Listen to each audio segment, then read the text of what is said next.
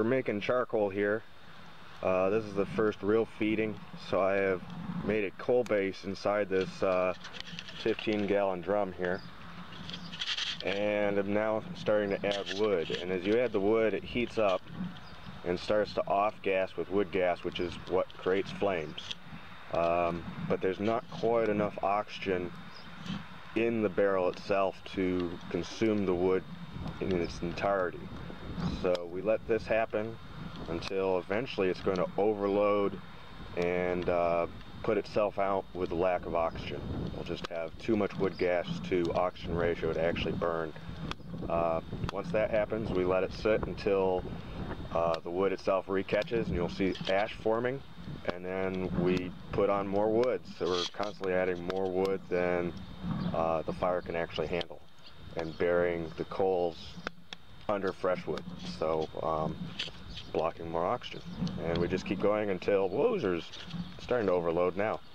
Um, keep going until the barrel's full and then we put the steel plate on top with a rock and let it sit for a day or two to cool off with no oxygen. Um, if you open it up too soon, the whole thing will just combust, burn up. So um, this is the slow process of making charcoal by hand. And once I get enough of it, uh, I'll start making my own steel. So this is the second feeding of the fire, making charcoal. Um, you can see it's putting off a lot of fumes, which is, you know, we think of it as smoke, but it's not. This is actually wood gas. And as the wood is combusting, you see the smoke goes away, there's flame now. I don't know if the video will show it, but the flame burns, heats up all the wood in the can, uh, which makes it all catch on fire, and then it uses up its oxygen. So then it's only off-gassing um, into that cloud, which is actually really flammable. You have to watch out for explosions here, but uh, this is how we market charcoal. Uh, we keep doing, you'll naturally do this cycle of burning, off-gassing, burning, off-gassing, uh, until it catches totally on fire, where there's, and that tells you that the oils in the wood and other organics that would be uh, combusting are used up in its charcoal. So we bury that under another batch of fresh wood. Burning charcoal heats up the wood on top of it. It starts burning and uses up the oxygen that would be keeping the fire below it going. So then it goes out. Um, and that's how you build charcoal.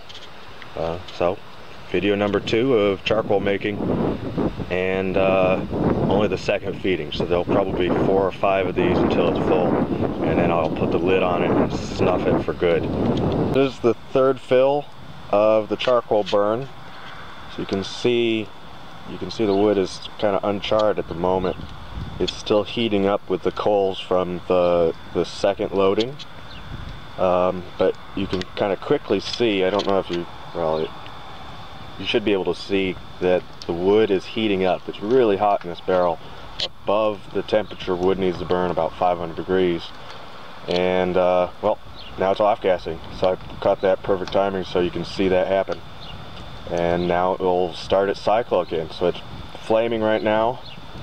And as the flames heat it up, it will start to off gas and produce too much fume for the oxygen, limited oxygen in the barrel to burn and it will put itself out and it'll just keep cycling.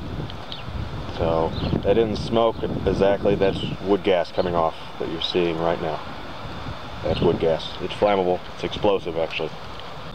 Alright, so this is, I think, the fourth filling. Um, as you near the top of the barrel, uh, because of more air being getting to the fire, you could add more and more pieces of wood per filling. So um, you can see I have this pretty well just packed all the way to the brim. Uh, half the barrel is full of coals now. So packing this full of wood uh, is starving the coals that are underneath this pile from getting any oxygen. So it's putting those out and leaving them charcoal as all this heats up and is catching on fire. Um, and as you can see, it's burning pretty well plenty of oxygen being out of the barrel right now. but as it heats all this wood up once again it's it's going to start doing its cycling of heating it up creating too much wood gas to actually combust and it will go put itself out and uh, cycle back and forth between burning and just off-gassing. So this is still the fourth feeding. This is only about, I don't know, two, two, three, four minutes uh, from actually feeding it. And you can see how it's totally burned down to charcoal. Trying not to shake the camera too much here. If I get a stick, I can just show you these pieces down in here are totally just charcoal now. You can just pop them right apart. So the wood gas and volatiles are burning off and it's just concentrated uh, carbon. It's charcoal. Uh, that was to hopefully knock it down, get it to settle down. I'm going to feed it one last time after this and then snuff it out with the big plate that's over there. Fifth and final feeding of the charcoal fire. Um, you can see it's it's getting hot. It's hot enough to burn, so this is just wood gas coming off. Once this is really burning, and now it's because it's on the top, it will act just like a normal campfire. So if I let it stay open, it would just burn down and all the way down to the bottom of our pile. So once this is burning, a lot of flame and hot and everything's good and charred, is when I will put the lid on this, steel plate with a rock, and let it sit and it'll burn out all its oxygen and it will smother itself under the lid. Um, and then we just have to wait until it's dead cold. So that can take up to two days. Uh, we have a lot of insulating matter here that would love to burn with just enough oxygen. You open the lid and it would all combust. So it has to sit there covered for a long time until it's totally 100% cold. Um, can't use water to put it out. You destroy your charcoal. It has to smother itself. So this is the last burn and uh, we'll have charcoal in a few days. So here's another shot of the last loading of the charcoal burn.